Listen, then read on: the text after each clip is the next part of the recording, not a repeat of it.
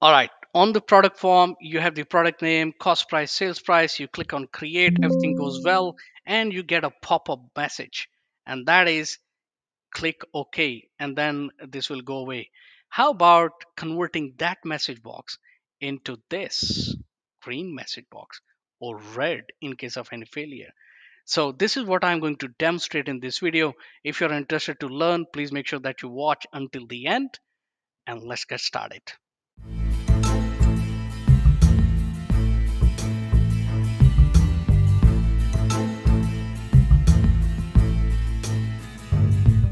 If you are new to my channel, welcome. If you're returning, welcome back. In any case, if you haven't subscribed, make sure you do and hit the bell icon so you get notification whenever I upload a new video. Before I get started, I just wanted to say something. For some reason, the mouse is not visible onto the screen. So it's it looks like, you know, I can understand from the viewer point of view, the mouse, you know, you don't follow the mouse, you follow the mouse, but you don't know where exactly it is. You just watch what is happening uh, on the screen. So I really apologize for that. I'm trying to fix it. Otherwise, I'll get a new um, screen recorder to make sure that you know mouse is visible. So sorry for that but i'm sure this this video will be useful you will learn a lot from this video especially if you're interested uh, in microsoft access and building your application in a new way. So i've got two buttons success message failure message because i want to demonstrate what happens what kind of message should appear where it should appear. If in case it's a success meaning the record has been created if there is something a information missing or something is missing so in that case the failure message how do we populate that? So that's why i've got two buttons for the demonstration purpose. So let's go ahead and let's see how do we build it. So i'm going to go to design view you see every form whether it is what type of whatever type of form it has a header and a footer. Footer normally we hide it. So why don't we utilize the footer area basically to achieve whatever i have spoken about in terms of messaging? So let's achieve that using the footer. And to do that, first of all, I'm going to get a label. And I'm going to paste in here or drop in here and I say status message goes here, something like that. All right. And I will change the width of this label and I will make it center and maybe I'll change the font color and the font size as well now this is all completely optional. If you want to change it, great. If you don't, no worries. You go to form view and you get a nice uh, message box here. But this stays here. Then what happened to the point which I mentioned that how do we get it disappear after a couple of seconds? Well, we need to build that functionality and I'm going to show you how to do that. Now, the next thing I want to do is I want to change this uh, labels caption to the success and the failure message. So let's go to the design view. Let's click on the success message uh, button and we'll go to the event tab on click event dot dot dot and we'll write simply one line of code and that is me dot lbl oh hang on. Guess what? I forgot to give a name. So let's give a name to this um, label and we call it lbl message because technically this label will be showing message. So we'll go back to not here what I'm doing. We'll go back to the click event of the button. Which button? Success button all right. So now I'm going to write a line of code and I'm going to say me dot lbl message dot caption because this is a uh, label so we have to provide that. And we'll say the success message has been printed successfully. All right. Something like that because we are testing. Okay. Um, and now I'm going to go back to failure message button I've selected that I'll go to the event tab on click event dot dot dot code builder in here and in here I'm going to repeat the kind of same thing lbl message dot caption equals and we'll say the failure message has been printed successfully all right so there you go. Those, those are two types of messages. let's go and check it out. We'll go to the form view.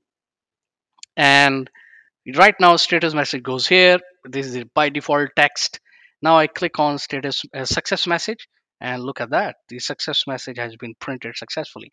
and I click on failure message, the failure message has been printed successfully. Now, this is not something you know new or not. You know you can do that. You know you can achieve it. But here's the thing: I want this message uh, box to only appear or this area to only appear when I click one of these two buttons. Otherwise, I want this to be hidden. What I'm saying it, I will demonstrate. So I click on the form and I open it and we see that label sits right there. Status message goes here. So the user might be confused. What is it? Do I have to do anything? So we need to hide this uh, this message label and it only appears when user click one of these two buttons. So how do we hide that? Simple. We'll go to design view. We'll go to the, uh, we select the form from the corner. We'll go to the event tab, onload event, and we say dot dot dot code builder, and we come here and we say me dot form footer dot visible equals false. All right. So we say whenever the form is open, uh, make sure that this is always hidden. So let's check it out. You can see that no more that but that uh, message goes here, message appears here. Now if I click on success message, where is it? Where is gone? Is it uh, gone, disappeared permanently? Nope. It is coming, but we can't see it because it's all hidden. And now we have to write another line of code to bring that label back. So let's go back to design view and we will go uh, behind these both buttons first we'll go back uh, to the success message button. So we'll say me dot form footer uh, dot visible equals true. And same we will do for the failure button. Me dot form footer dot visible equals true. All right. So let's close that. Let's check it out. And by default it will be hidden. So let's click on success message. Boom. Here we have. Right the success message has been printed failure message the failure message has been printed. But the problem is this stays forever. It doesn't go away. Now how do we fix that? Let's do it as well. Let's go back to design view and I've selected the form from the corner. We go to the event tab of the form and we scroll down until we see a event called time interval. Now in here it's zero by default or there may be nothing based on your settings but I want this message, that message to be appear for eight seconds. And then after that, I want that message to go away. All right, hide it automatically. I don't have to hide myself. So to do that, because it is eight seconds, I'm going to type in 8000 because 1000 equals to one second 2000 3000 4000 and so on and so forth so if i want something to be appeared for 8 seconds 8000 and are we done yet? No, we have to write a two or three line of code here as well. Maybe one line of code. On timer, we go here, dot, dot, dot, code builder, two lines of code we need to write. And that would be if me dot visit, if me dot form footer dot visible equals true, then uh, me dot form footer dot visible equals false. And if basically what we have done is we have told Microsoft Access check when if this form is if the form footer is open if that's the case then hide it after the time period that we have mentioned which is 8000 which is 8 seconds. So shall we check it out?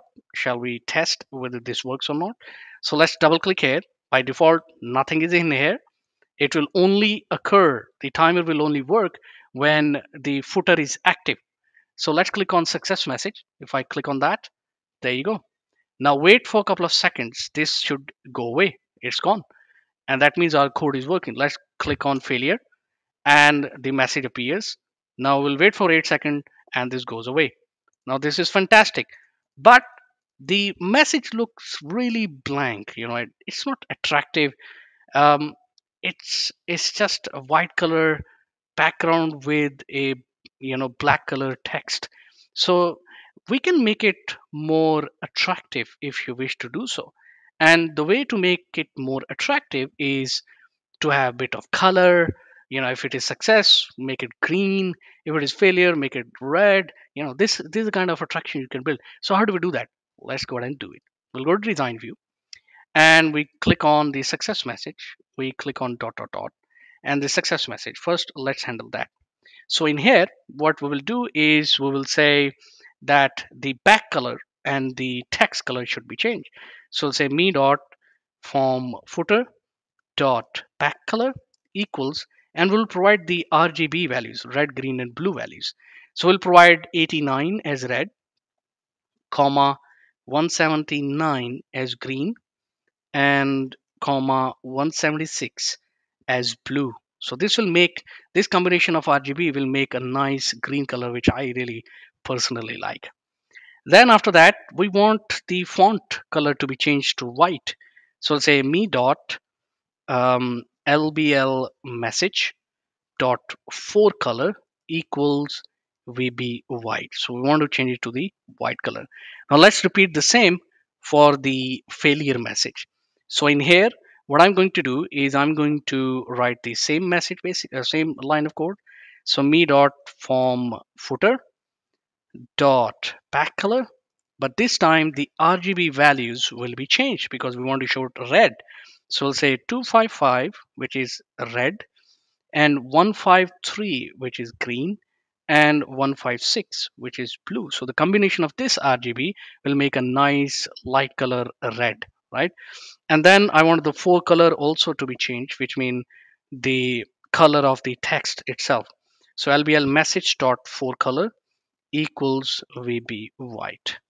Now let's go ahead and let's test it out. So we will go back to the products form double click in here. There's no message right now. I'll expand it a little bit. And I click on success message watch here and there you go. That's a beautiful green color with nice white color text. And it should go away within 8 seconds and it has gone. Now let's click on the failure message. And it's a beautiful red color with nice white background or text uh, text color by the way not background. So you can see that what i'm doing here and you can achieve the similar behind every button. Basically you want to show any message you can adopt this methodology to show. Are we done yet? No. In the word of steve jobs one more thing. I want this message to be more attractive i want to have icon right? So you can have an icon like for example if the success message the green color check mark or something like that. A failure message the red color cross or something like that right? So to make it more attractive. So let's go ahead and do that. We'll go to design view and we'll go to the uh, form design and insert message insert image not message. And I've already done that before so for the other channels tutorial that's why they are populating here. Otherwise you can click on browse and wherever you have stored these icons you can bring them here. So let's click on green. So first let's get this one and we'll give a name and we'll say icon green. And now let's get another one which is red. And oh not like this. We'll go to control Z. We will unselect that. We'll click on red and we'll go here and we'll go here and we'll say icon red. Okay now what I would like to do is I would like to do some alignment here. So basically I want to align these two together and I want to align it in the center. I think this is the center. Now I don't want this both buttons to appear together. Uh, if success message only green should appear red should be hidden failure should be vice versa. So let's go ahead and do that. We'll go to success message button and property sheet even tab dot dot dot. In here we will come here and we'll say me dot icon green dot visible equals true and me dot icon red dot visible equals false right? Because this is a success message all right, now we'll achieve the same with the failure message and we'll say green should be hidden, right? Because it's a failure. It's not a success message. And for the red, it should be visible. True. There you go. Okay, so that's done. Now let's go ahead and check it out. Let's go ahead and give a final uh, look at it, have a final look at it whether this works or not. So let's click on success message boom we have this little green icon. I don't know whether you have seen or not. And now let's look with the icon green color background and white text. Same with the failure message. Red icon you know red color background and white text. So this is what i was talking about. And i think this is much better than having the pop-up boxes. Of course pop-up boxes are beautiful feature as well. For example if i go here i type in click on create we get a pop-up and user have to click on ok and then this will go away i think this will be more beautiful this is only my point of view i might be wrong but you can achieve this easily you can in fact perform many different tasks in the form footer based on what user has uh, done any activity on the form so this is what I wanted to demonstrate. I hope that you have learned something. I hope you have liked it. If you have liked, smash the like button. Tell me in the comments below. And if you haven't subscribed, make sure that you do hit the bell icon so you get notification whenever I upload a new video. That's about it. Thank you very much for watching. I'll see you in the next one.